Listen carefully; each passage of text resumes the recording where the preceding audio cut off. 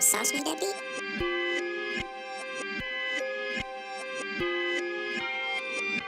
Somebody hit up Mitch.